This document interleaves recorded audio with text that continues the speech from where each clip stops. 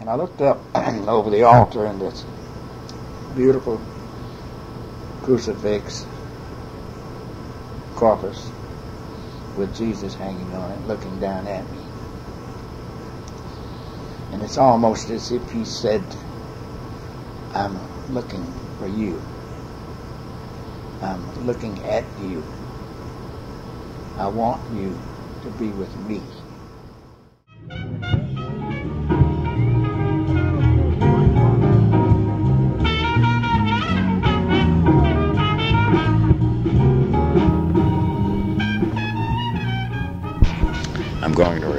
I thought it was a short message just to test this thing. If you recall, the last time we did this, the playback sounded like the uh, little munchkins. I don't know what caused that, but it's evidently playing much too fast or slow to get a good reproduction. So I'm going to try to do it now again and see what happens.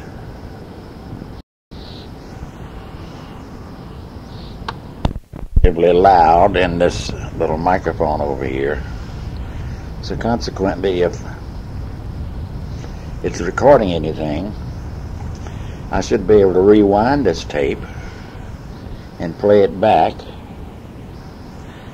and see what I have said, if it's at all possible. So let's put a little more on here and then give it a try. One, two, three, four, five, six, seven, eight, nine, ten. This is going to be a tape that's done kind of impromptu without much guidance or review. It won't be edited. It'll be just taped and played. That'll be about it. There won't be any backups, erasures, and things of that nature because uh, I'm not too fond of having to do that. But I do want to tell a little story uh, as we go along about some things in my life that stand out as things that happened that I remember so well. Some of them I don't remember because I was too small, but they were related to me by my family. It seems that my mother always said that it was a cold day in May, May the 19th, 1924, when I was born. She had to have a fire in the fireplace. And all homes in those days were equipped with a fireplace, probably in each room, which were fired by black coal. Coal was plentiful in those days and still is, up and down the eastern seaboard, all the way from the West Virginia mountains down to the North Carolina mountains and it's still a very useful fuel in industry. Not so much for home heating anymore, but it's uh, you just see the trains that go by day after day hauling that coal. So it was evidently a cold day, and I was born on West Lee Street which is now bounds the number one post office on the south side. And it is part of uh, the complex there where the post office is today.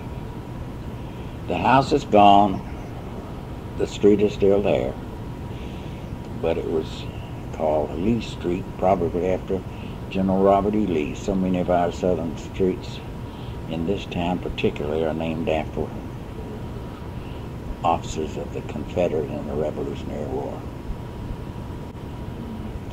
They named me William Russell Gaffney.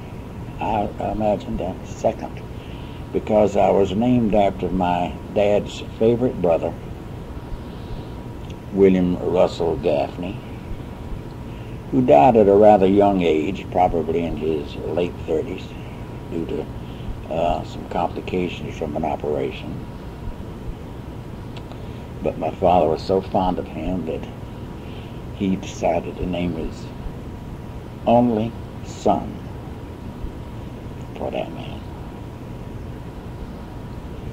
I don't know how long we stayed on Lee Street because I was just an infant.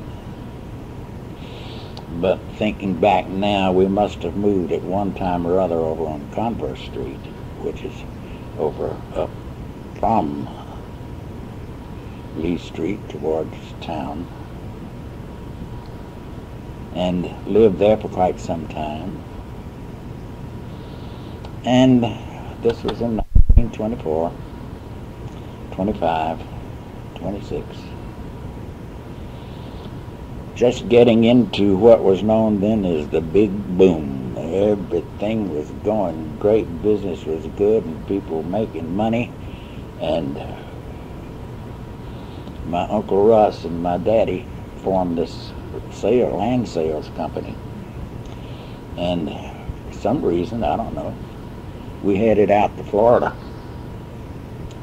I guess they were going to develop land and auction it off and try to make some money. They were both adventurers in their lifetime, no doubt about that. But in 1927, 28, you probably have read in the history books, or you will continue to read in history books about the crash of 29, 28, where everybody that had any money lost it. they had it invested in things. They thought they were going to get rich, and they found out that they were just going to get poorer and poorer.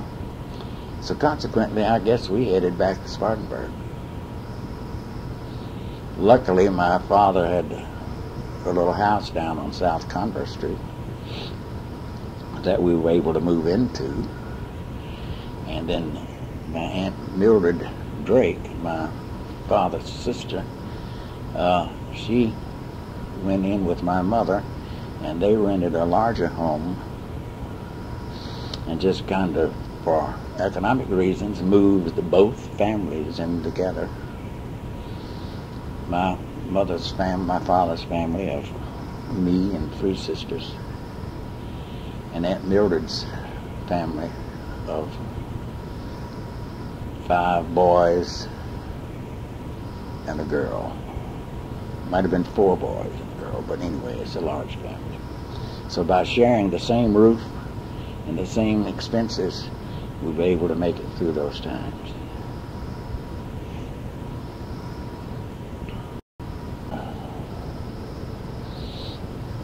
If I seem to ramble from time to time, it's because I said in the beginning, I'm doing this for no notes and just kind of recall on the top of the head and put things together and see if they come out right. But during those times, we were all living as a family unit. All the men in the family that were old enough worked, and the, women operated the home. My Aunt Mildred Drake, who we called Big Mama, and my mother, whom everybody called Nanny, were there all day and they decided to go into a little enterprise, making sandwiches at home and selling them through the stores, the drugstores downtown. They did that, started right there at the house, and we had this black man, a wonderful human being, who worked in the family, and he would take those sandwiches fresh every day go downtown. We had maybe about five drugstores that had soda fountains. And he would put those sandwiches, with their permission, in the stores and let them sit for a day. If they didn't sell, he'd pick them up and bring them some more. It was kind of on a consignment basis. And the business grew and grew because their sandwiches were so good. They made them fresh, fresh breads, fresh ingredients, made about four or five different varieties, and wrapped them attractively and put them on the on the soda fountains. And they took a little commission of it, of the, what they sold, or maybe gave the uh, druggist, the drugstore operator, a little commission for what he sold. I don't know exactly exactly how that worked. Uh, however, the business became a little enterprise. They didn't make a whole lot of money, but it gave a lot of people in the family an idea. Francis Drake, who was a born go-getter type businessman, my father being an adventurer and was willing to try anything that might work as far as uh, doing anything of any accomplishment, they decided to uh, form a little company and start making these commercially on a larger scale. Well, they had to go where the business was, and it seems that Oklahoma and Texas, that area, were still doing pretty good business. And they heard about a, a chain of drugstores called Steinberg Drugs in the Tulsa, Oklahoma City area. And this is the way it was related to me. They went down there and opened up a shop, one in Tulsa and one in Oklahoma City, making these sandwiches. And with the idea of putting them on the market through the beginning of what we know now as chain stores and in these drug and fountain stores. Steinberg, according to what was told me, had maybe 50 stores in those two towns. And evidently they got the contract to make all the sandwiches for them. And that presented a pretty good way to start. It grew from that to more, and I think they did quite well financially. And even though things were still tough, the Depression was just beginning to wind down everybody made a living. They rented uh, places that would accommodate a lot of the kinfolk. Uh, I know in one case in West Virginia, when we went up there, that Mildred Boyce and me and Warren and several outsiders and people that came move up, move up to the family, they would rent a large building and uh, everybody live in it and worked in the sandwich business.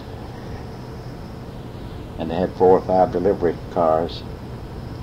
And each person would put their sandwiches out each day and work their routes, so to speak, to keep the business going. And it grew and grew and grew. They operated under the name of Drake's Flowers. Drake's, I beg your pardon. I'm in the flower business now. Uh, Drake's Sandwiches. And became, they became very well known in the territories that we were in. And surprisingly, just a few years ago, the Drake franchise of sandwiches closed here in Spartanburg because there was no need for everything was vending machines then and there's no need for that sort of service. So after a stint in Oklahoma, we decided to go to West Virginia. Why, I don't know. But we went to uh, Tulsa, to uh, Huntington, did the same thing there. And I became, over those years, I don't know much about it, but I was, I have a little picture hanging on the wall out here at the house right now of me when I was about three years old. And I think that was made on South Converse Street. Before we headed out on these various missions. And I found out later that we were wondering the name of the doctor that might have delivered me.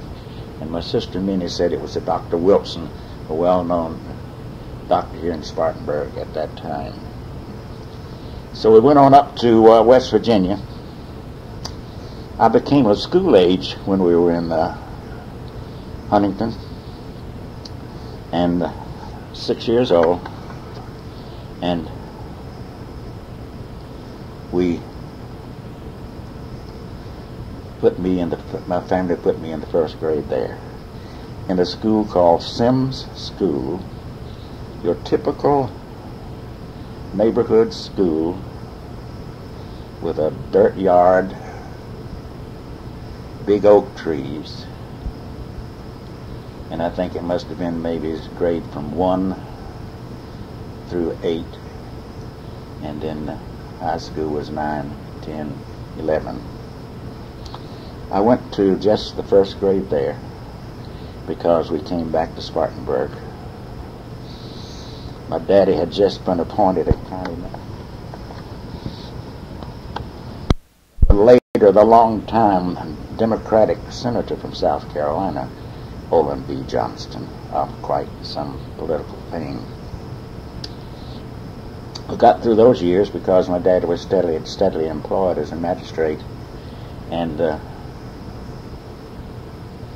I think the sandwich business continued to operate through members of the family, and we went on to. Uh,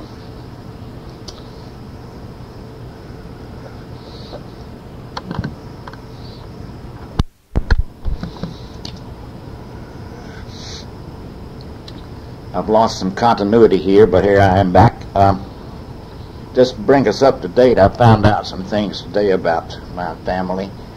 As you know, I told you we I had three sisters, and I found out today their ages, which they would not mind me saying because all of them deceased except one. My sister Mildred was born in 1909. My sister Minnie was born in 1910 and a half, and my sister Margie Stallings, who was the late wife of late Colonel Stallings, in 1917, and I was born in 1924.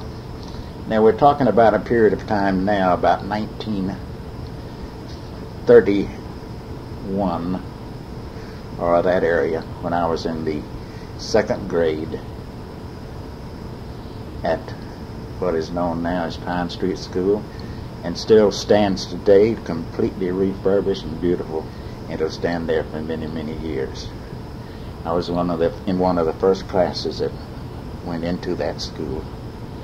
And went there until I went to the high school in the eighth grade at Spartanburg High School. We had 11 grades in those days. It went four years, 8, 9, 10, 11 to Spartan High. That has been completely refurbished over the years and is now as a county office building. So I'm very fortunate to live in a town where I went to school and they both are still standing and probably the best school buildings existing in the county. Uh, very lucky to be there. I getting into my school years, I wouldn't say that I was an extremely good student, only in things that I was fond of. The things that I didn't like, I didn't do too well. I passed, but I didn't like them. And it seems that I was definitely not an athlete. I tried to play a little B team football, as we called it in those days. Played a couple of games for Spartan High, just about got killed decided that was not for me. And then I played on the baseball team and did fairly well. I had a little talent for baseball. It didn't require uh, a lot of strength and stamina and guts to play baseball. A little finesse and a little talent, which I seem to have as a person. However, I never did materialize in that either because I really wasn't that interested in it. I played a little bit what we call sandlot baseball. I like to pitch and like to play first base. Um, then I found out what I really liked was the sciences in school and the music along with it. Had a friend, a very close friend in school named Robert Cecil, and I were in the hall one day looking at the bulletin boards outside the band room, and uh, they said that they had a couple of instruments that they would lend students just to learn how to play them if they'd play in the band. And you got an extra half credit. So that sounded pretty enticing to me and to Bob because that gave us an opportunity to pick up a half credit and try something a little different.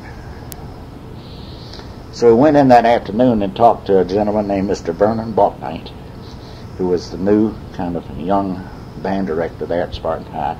Never had had much of a band prior to that. And he said, I have two instruments over there if you want to look at them. And we said, okay, let's see. Uh, that one there with the three valves on it is called a trumpet or a cornet. And the other one with three valves but a lot of curly cues and tubing and everything is called a French horn.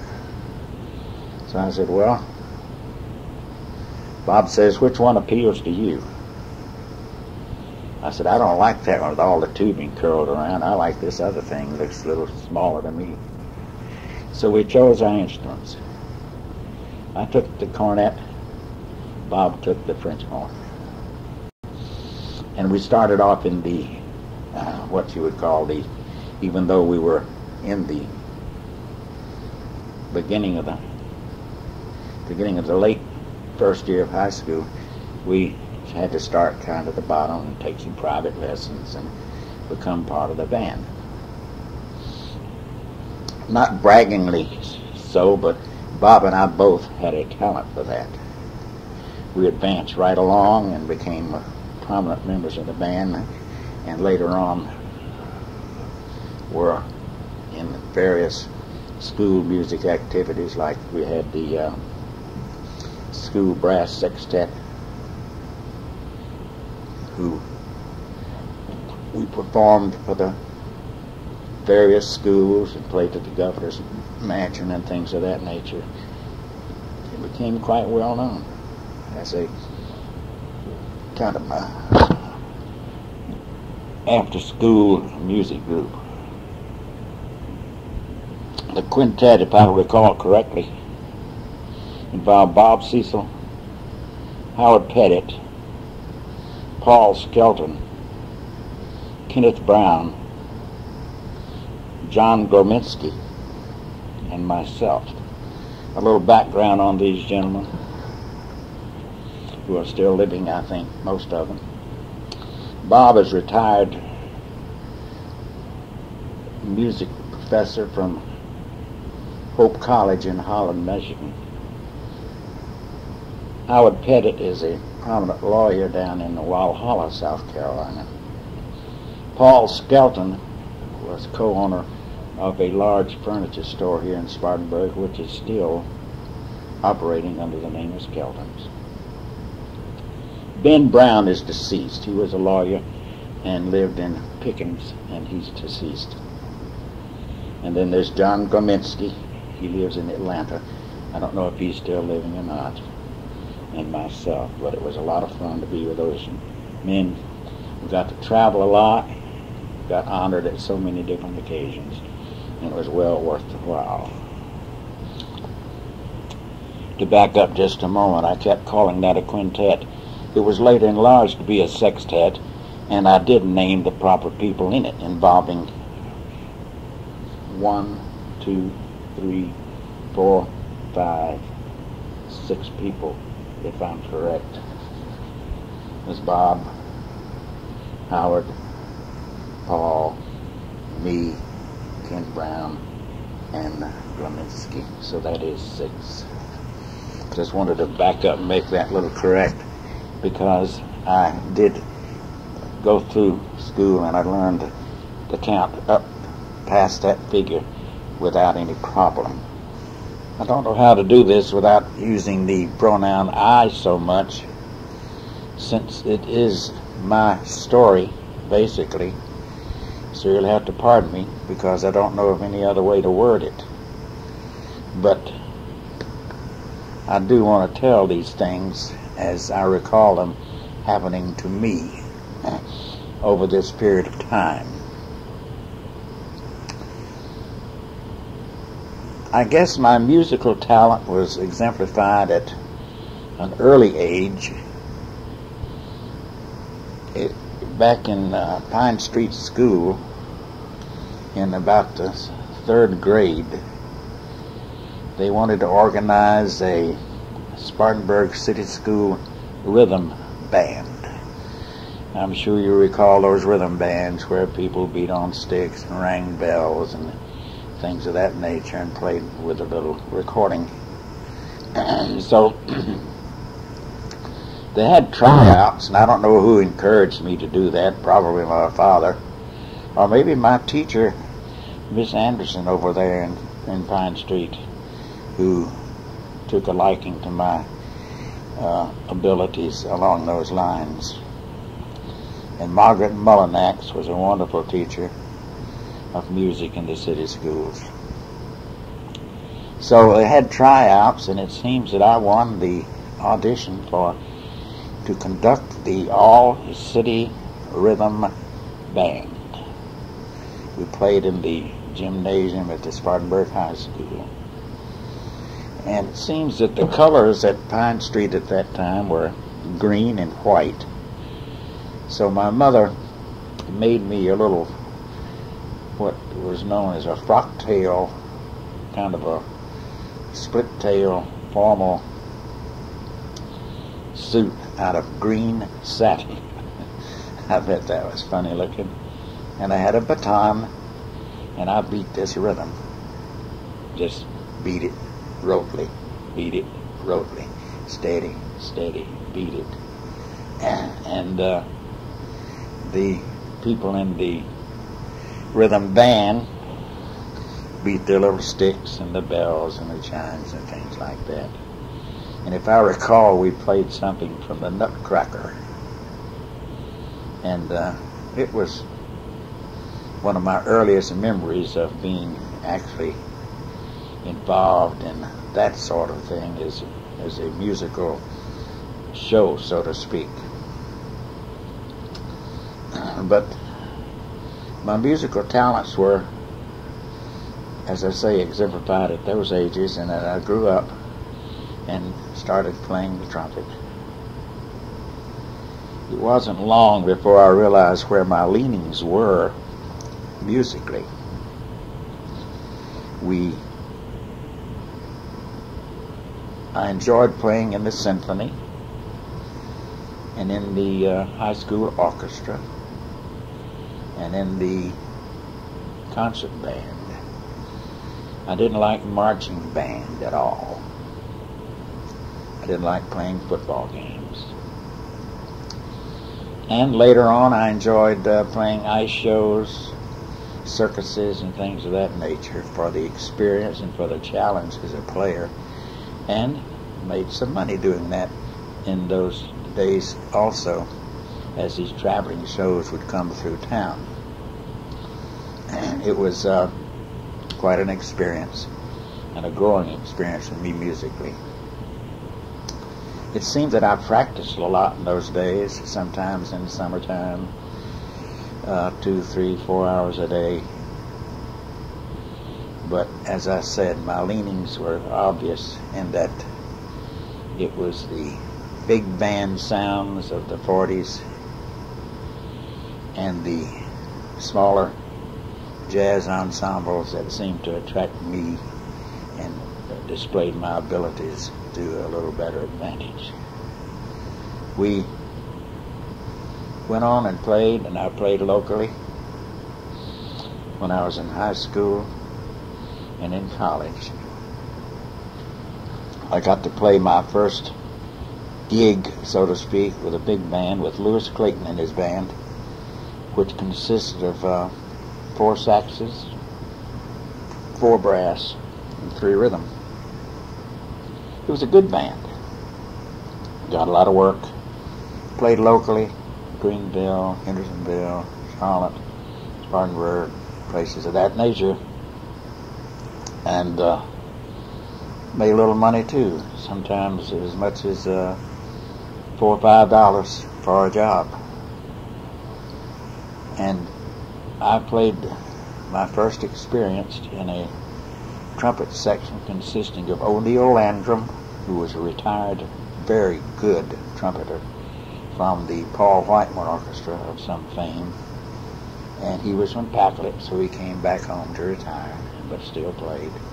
And Ross Holmes, whom I know today as a friend and a fellow musician, Ross played the second chair book in the orchestra, and I played third, the best I could.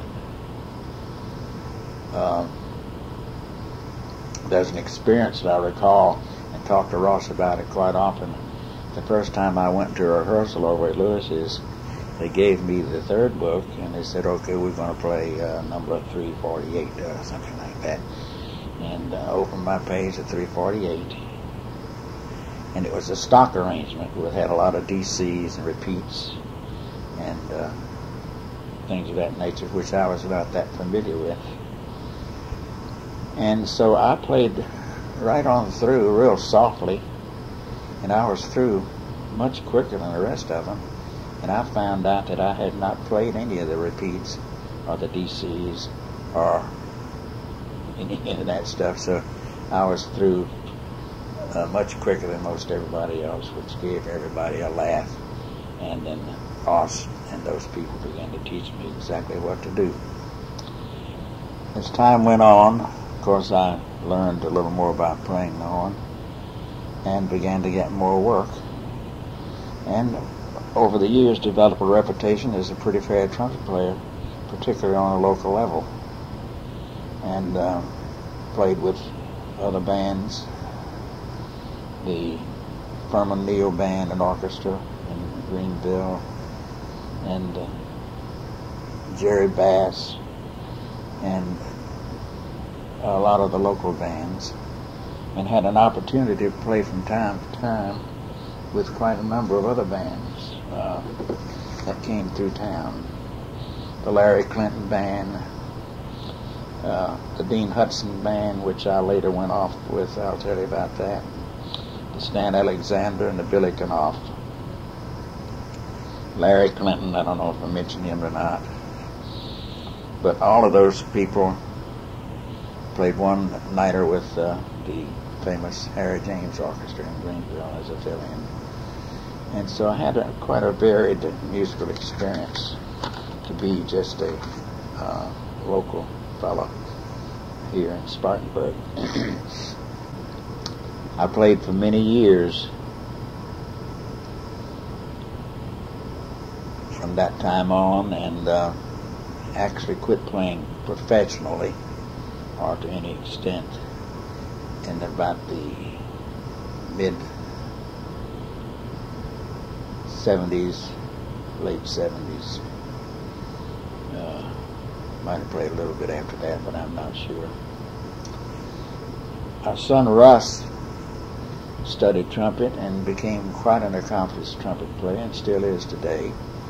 And he works with a very good band in, out of Greensboro, North Carolina and they seem to get some real good work, make some money, and I'm sure he's enjoying every minute of it just like I did. I had visions of being a professional trumpet player after I got out of the service and I gave it a try. But I realized having already two children that it was not going to be a very feasible thing to do any traveling or trying to pursue a musical career and devote that much time to it. I played with some good bands. I remember the summer of between my freshman and sophomore year at Wofford, I auditioned for a band called Dean Hudson, which was a very well-known band in the South and East particularly. And I auditioned in uh, Greenville, and he said he was going to go on about a six or seven week tour up and down the East Coast to go down to Pensacola, Miami, uh, Jacksonville, some of the, some of these towns towns we played in for uh, you know a week or so in nightclubs and up to Atlantic City, Wrightsville Beach. So we went up and down the East Coast playing these uh, jobs, and I met a lot of nice musicians and uh, learned to play in that band pretty well. Became a part of it for that brief length of time. Dean wanted me to stay with him and go on the road with him permanently, but I had obligations at home, and I didn't know exactly what I was going to do. And uh, the World War was draft notices were going out about a millions, and it didn't look too promising to anybody, particularly at my age, being a sophomore in college. But those were enjoyable years, and I had a lot of good experience and met a lot of good musicians and good friends. And I recently ordered a CD of the Hudson Band recorded back in 44. I was not with them in 44. I think probably the last time I played with them was in 41 or early 42. And uh, some guys on there I remember. Jimmy Farr, a very fine trumpet player who later went with the Woody Herman Band for a while. And uh, there was a piano player that was from, I believe, Charlotte, North Carolina, whom uh, uh, everybody liked. A very fine player. Seems that he died a tragic death, like choking to death on some food or something at a restaurant. But uh, those things I remember, those people were good musicians and sober and hard workers, and uh, they they enjoyed playing their music and they played it very well.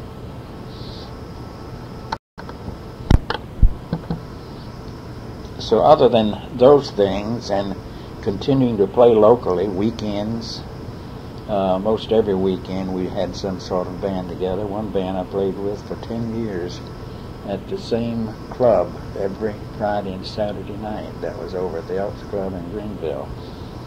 So that's what you call an extended engagement. But other than that, I played locally, enjoyed it, made some money occasionally, and kept up my friendship with my fellow musicians and developed my talents over the years. When I was younger, I had a, a cousin named Juanita Wilkins who was a piano teacher and a voice teacher. lived over on Glendale Avenue. And my father talked to her about giving me some piano lessons. And so I went my piano lessons, but she got involved in my voice. I don't think I ever learned any piano. And she had me singing in local churches, all the churches. I was a member of the Southside Baptist Church at that time, and I was about maybe 11 years old or so, and she had me singing on Sunday as solos and all these things. I don't know where she was headed with that, but it wasn't long until I got out of it. And uh, she was running my voice anyway at that time, being it was such a young voice and uh, overworking it. And so we gave up on that pretty quick. It got so bad that in the annual one year they put my picture in there like they still do, but they put a little note underneath each picture and it says Russ Gaffney, the one gal guy who comes to school every morning with a horn and no books. Now, what does that tell you about my studious abilities? Those are very tumultuous years.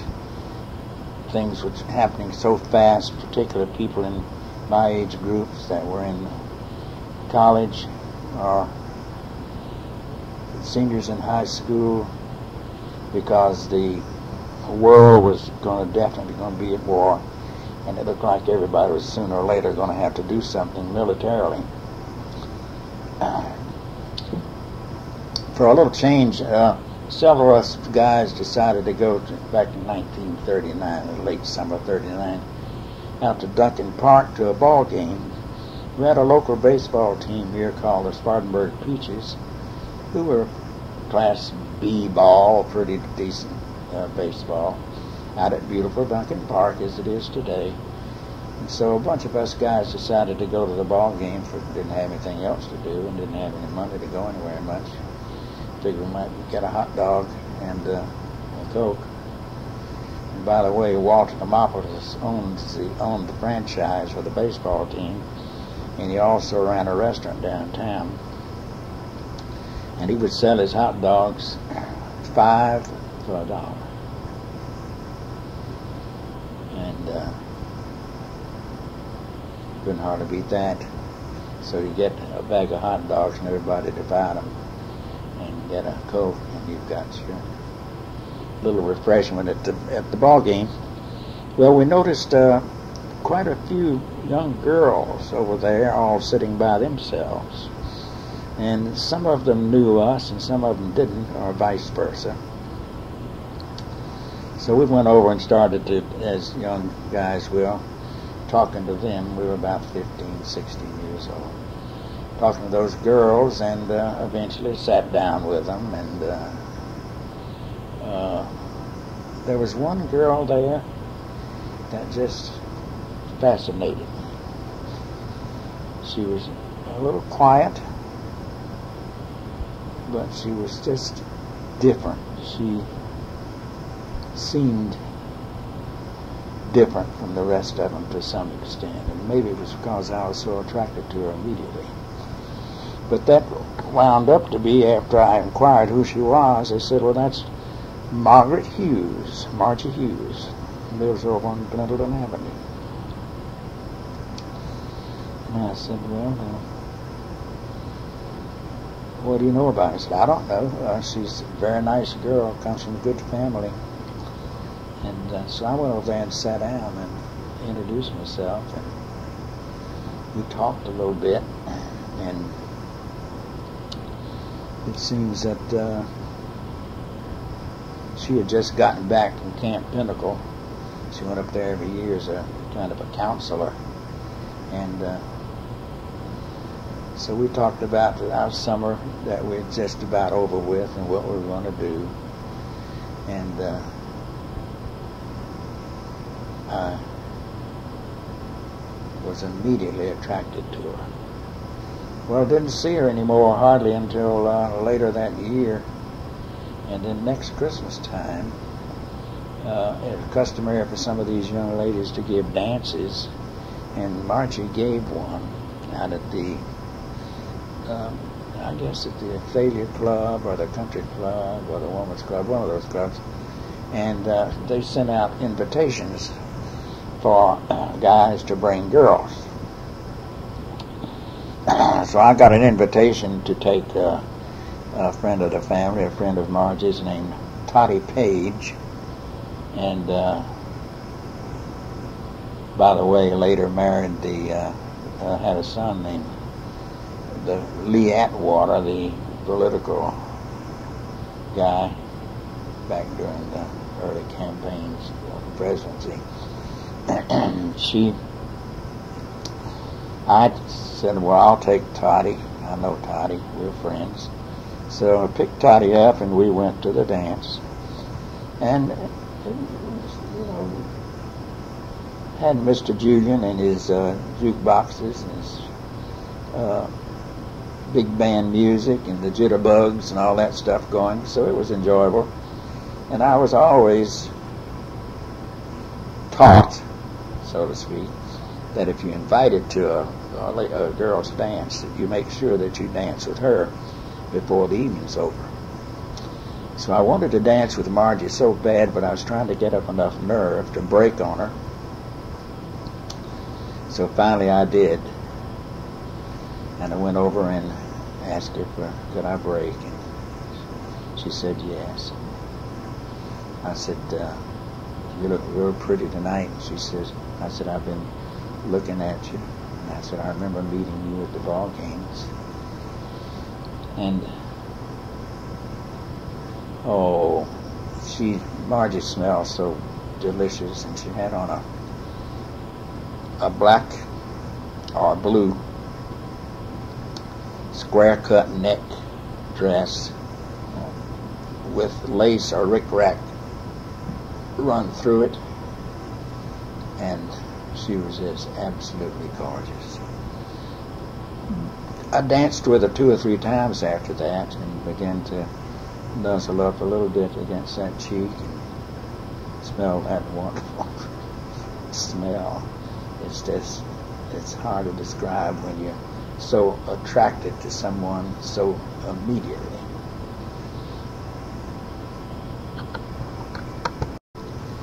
So that must have been around 1939 or during the year of uh, 40. Margie graduated from uh, high school in the class of 40, and uh, she was a year ahead of me. And I went on to um, my, I graduated in 41 and went to uh, Wofford College as a freshman in 41. And that Christmas, Margie and I had been dating a lot that year. And she asked me if I would like to go to midnight mass. Well, I didn't know that she was really Catholic. I didn't know what she was. We never had discussed religion.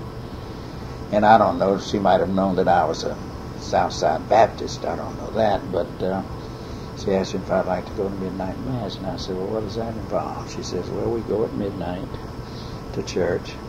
And we have what we call mass. Lasts about an hour and a half with the singing and everything." And then we would usually go to my mother's house. She has her friends in, and they'll have uh, sandwiches, eggnog, and uh, a little get together after Mass, and then go home. So I got to thinking that this, this must be a great opportunity for what one might call a late date. Go early, midnight, eating sandwiches at 2 a.m. That, that was just too good to turn down. But the most amazing thing about this whole thing is that when I walked in that church, the first time I'd ever been in it, and as you know, Catholic churches, like most churches, are beautifully decorated at Christmas time with the tree and the lights. And I was just completely overwhelmed. I think the Holy Spirit grabbed me and would not let go. I had forgotten all about the, the ham sandwiches and the eggnog and the late dates and everything. I was involved in that church so deeply from that very moment that I couldn't hardly believe what was happening. And I looked up over the altar and this beautiful crucifix corpus with Jesus hanging on it, looking down at me. And it's almost as if he said, I'm looking for you. I'm looking at you. I want you to be with me. It's almost audible. I felt it so deeply. So, from that day on, Nothing against my friends at the Southside Baptist. My folks went there. That was my church. I grew up in that church, sang in the choir, active in the youth activities and those sorts of things. But here, here I am a 17 year old boy now, or 16 year old boy. And to be touched that much by anything, I never experienced it. So I, from that day on, I never went back into my church again, and I started to going to St. Paul's. Sometimes I would go with Margie, and if she was not going to the same mass I was going to, I would go by myself. But I never missed. And over the years now of many, many years of Catholicism, it's been the same thing, a true dedication to the faith.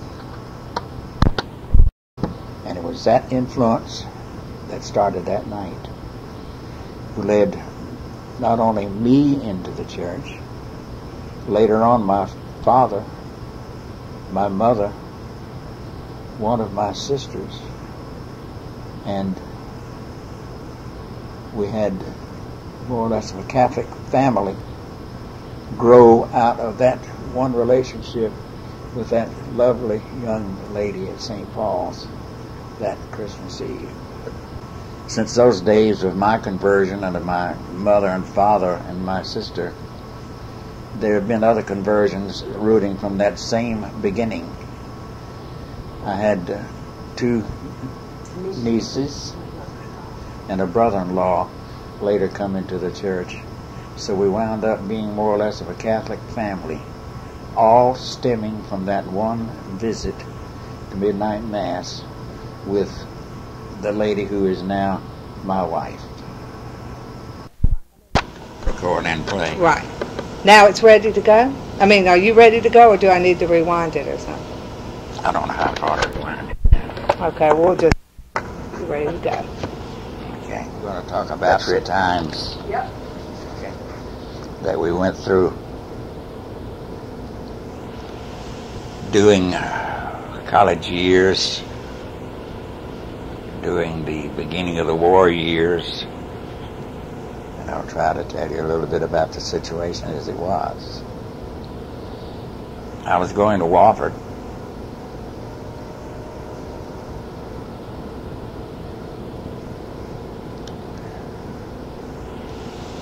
In my freshman class, your mother, Margie, graduated uh, a year earlier than I high school. She was uh, a few months older than I, and the way the graduation years worked out and the school years worked out, she finished a few months before I did. So consequently, she was out of high school. On the calendar year, a year before me, she went to work with her daddy at the City News Agency and took some courses at uh, business college. And I continued my studies for my senior year at Spartanburg High School. She was able to date me. Were able to date one another, I should say, during that time. And it was very tiring and troublesome times. Every day you would see headlines in the paper, the number of men that were being drafted. I had my draft notice. Every young, able bodied man had a draft notice. It was just a matter of time until when one got drafted. Now, to get drafted meant that you were called into the service and you had no choice of what you did. I considered several aspects. I thought that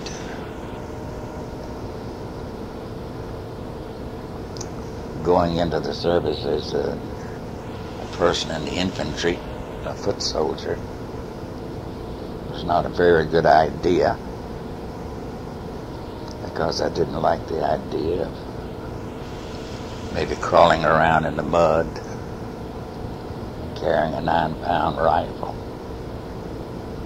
to serve my country when there are other ways of doing it.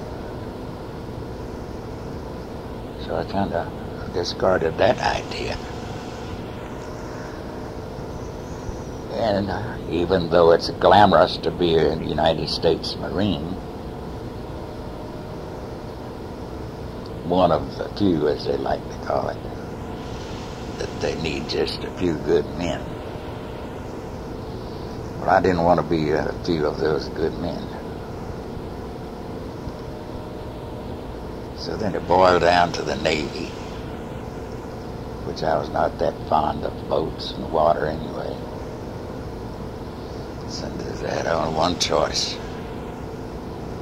That would be to go to the Air Corps. I didn't know anything about airplanes. I'd had a two dollar ride over Spartanburg one time. I think my dad took on that little Sunday afternoon ride just for fun. And I'd never really been gung ho about flying particularly. But I felt like that might be the best way to serve my country if I could qualify. And by qualifying, that meant that I had to have a certain IQ, a certain physical standing, and would have to undergo some pretty heavy things to qualify to fly. So I applied for a flight school. That meant that I had to apply and wait and see if they could find a place for me in training. So I did. And in the meantime, they sent me up to South Dakota to a radio operators bombing school, which would have meant I'd been a radio operator on a bomber if I didn't qualify or in time to get into flight school. So, as luck would have it, I did qualify physically, mentally, met all the requirements for flight school, except they didn't have any opening at that time. So I completed the training at the radio school and was prepared to go as a radio operator bomber. And about a week before I was to leave, my orders came through that I had been called into uh, flight school. What a break. Quite an exciting day. So, I'd already planned to come home to marry your mother June.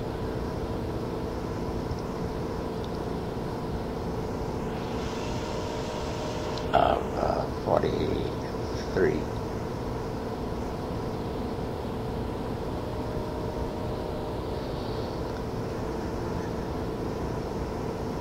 So those orders had to be canceled because I couldn't come home then.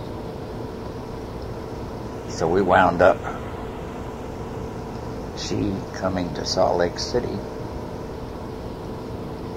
because I could get a few days off and we would be married there, which seemed to be okay. Not the best, but at least we'd be married. So she flew No, I beg your pardon. She didn't fly. Couldn't get a place on an airplane. She rode a train to Salt Lake City. We were married in June of 1943.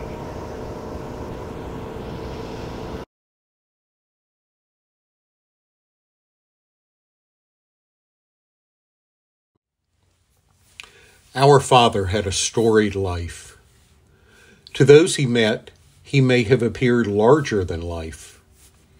From simple beginnings in Spartanburg, he went on to become one of the most recognized and sought out trumpet players in the Southeast. During World War II, he trained countless men to be pilots who went on to fly in defense of our country. As a business owner, he was well respected in the community, due in part to his meticulous attention to detail, impeccably honest business practices, and shrewd financial management. While he was proud, and rightfully so, he never boasted about his accomplishments. Rather, he chose to praise the accomplishments of those around him. I have often compared the life of our father to that of Jimmy Stewart in Frank Capra's It's a Wonderful Life. Playing the trumpet was his passion, and playing around the country was his dream. But his father's ailing health and the realization that he had a young family to support set the course of his life in a different direction. While music, aviation, and his business were outward signs of his success, his real passion was his family and his church. Our father was completely devoted to our mother and to each of us, his children.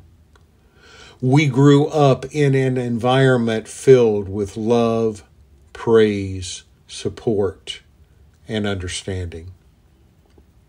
Listening to Dad talk about his life and his family in his own words brings back a plethora of emotions and memories. From humble beginnings, Russ Gaffney set the bar high for his family, friends, and anyone he encountered. These many years after his death, his words continue to inspire all of us to live a fruitful life filled with love, praise, support, and understanding. We love you, Dad.